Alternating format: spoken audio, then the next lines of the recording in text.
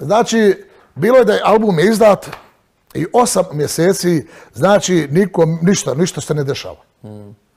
A ja sam bio i u jako teškoj poziciji financijskoj tad. Ja sam uložio sve, znači ono i jednostavno treba disat. Posla nema, niko te ne, cijenu ne može dignuti uopšte, ne možeš pričati o cijeni. Ko si? Znaš ono. A ni- niti se prodaje CD, niti ništa, ništa, ništa. I posle osam mjeseci. Znači ja ne znam kako je to prokuvalo.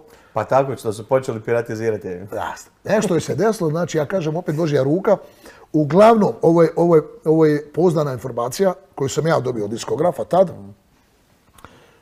A, da sam bio poslije Dine Merlina najprodavaniji u ex tom našem prostoru.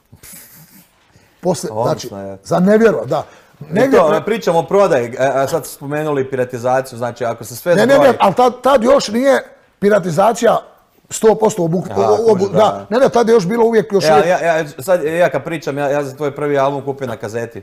Pa, Znači, ti, ti si malo kasnio, znaš. Da, ja nisam, Ali, nisam imao para da kupim CD player, original, originalna verzija.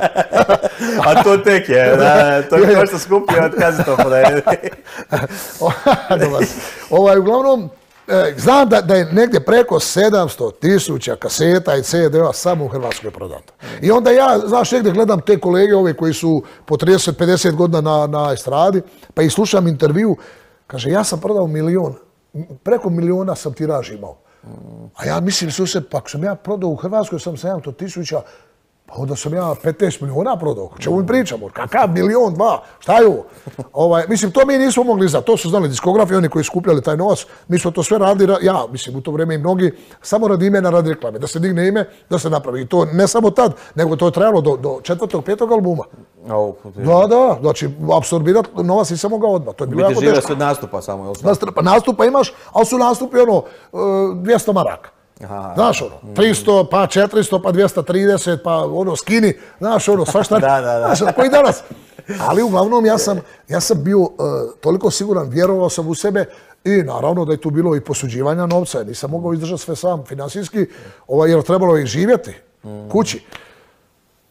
Drugi album, znači Bossa Reno, treći album, četvrti album, peti album e, i dolazi negdje da sam ja uradio album negdje pred Papagaj. U stvari, da li je to bio, da li je to bio Hollywood, sad ne mogu se sjetiti. Hollywood, Meksikanac, vanzemaljci, to da. Da, Svake ali- godine po jedan više A, manje. je, je, ali na tom albumu je spontano se desilo da mi nisu imali dovoljno pjesama. Imali smo nekih šest pjesama, a bez osam minimalno ne možeš da izbaciš album. Eventualno deset. I sad mi šest i ovi momci što rade, znači šta ćemo, nemamo pjesme, daj da smislimo nešto, ja im dajem ideje, ali treba ipak to aranžmanski uraditi. Mislim, ne možemo naivno svašta snimati. Ima sad, vjerujem, kroz karijeru kad je vratio sad uh, film i kad bi iz početka krenuo, za sigurno da ima možda i 20% pjesama koje ne bi sigurno To su fileri kao, Pa da. mislim, ono, trebalo je da pobunimo album. Ma da, maltene, filer, da, da.